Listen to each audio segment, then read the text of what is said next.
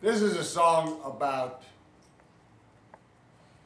two kids who found themselves stranded in a place they didn't want to be when the price of gasoline got so high that travel by automobile was no longer a possibility. I wrote it the day I saw the service truck changing the faces on the, on the gas pumps from two digits to three digits. You remember that, that day? You remember that day. And of course, since all the cars at the time got about eight or ten miles to the gallon, uh, it seemed to me that that would probably be the end of life as we knew it. You used to be able to just jump into any old Oldsmobile V8 in New York and go, through to Los Angeles or go to Texas or go to Chicago or New Orleans or wherever, and it, with whatever change you had in your pocket, right?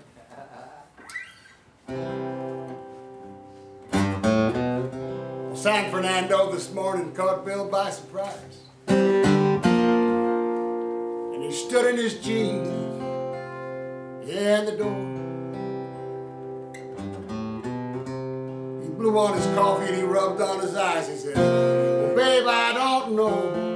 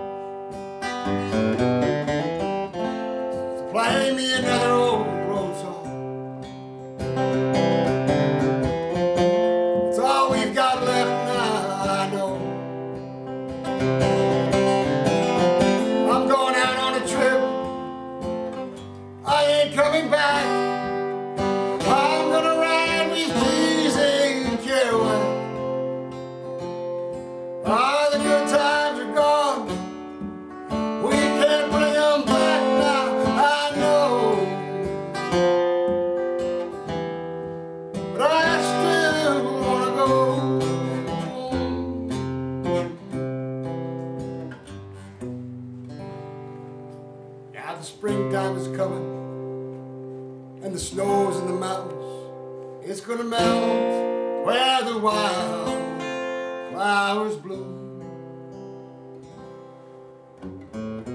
We'll be here sitting with the cigarette smoke. The silence that grows in the room.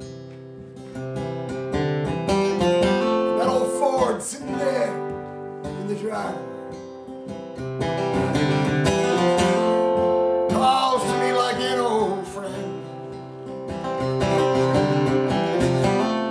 Little sitting there.